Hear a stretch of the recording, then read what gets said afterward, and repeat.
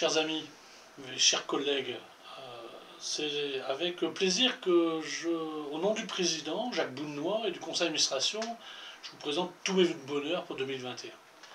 Euh, je ne vais pas revenir sur 2020, je pense que c'est une année euh, tellement particulière, d'ailleurs qui me vaut pour la première fois de faire nos vœux en format vidéo.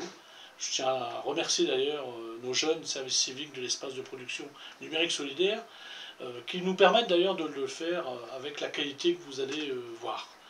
Je tenais à souligner pour cette année 2021, au-delà bien sûr d'avoir, j'espère, hein, une année sanitaire, on va dire de bonne qualité pour tous, hein, et qui permette à chacun d'échapper à cette maladie, pouvoir vous présenter nos chantiers, nos chantiers qui seront assez nombreux sur 2021 pour la FP2I, la FP2I qui, à, l'heure où je vous parle, malgré la crise du Covid 2020, euh, euh, a pu traverser euh, la, tempête. Et là, je tiens à remercier les financeurs publics, et en particulier la communauté urbaine, qui nous a largement épaulés à passer cette tempête.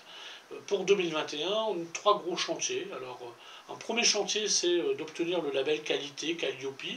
Là, les, collègues de la FP2I euh, qui m'accompagnent hein, vont contribuer à mes côtés à, obtenir cette certification qualité qui nous permettra de continuer notre métier, de rester ouvert à, l'ensemble des populations que nous accompagnons. Hein. C'est à peu près 2000 personnes sur l'ensemble d'une année hein, que nous accompagnons.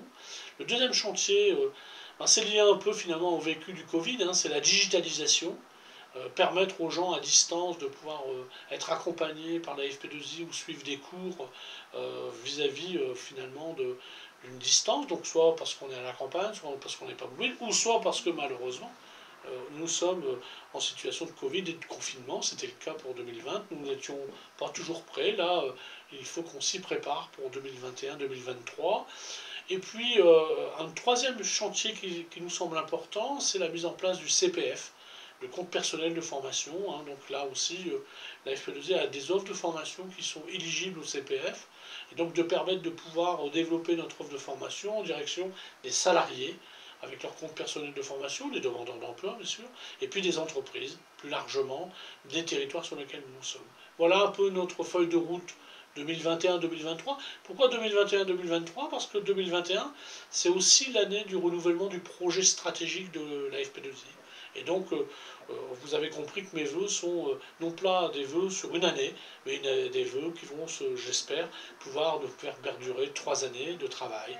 Voilà, donc je réitère mes voeux du bonheur. Hein. je pense que même les petits bonheurs, il faut tous les prendre. Donc prenons du bonheur et puis surtout, surtout une bonne santé à tous et à toutes pour 2021.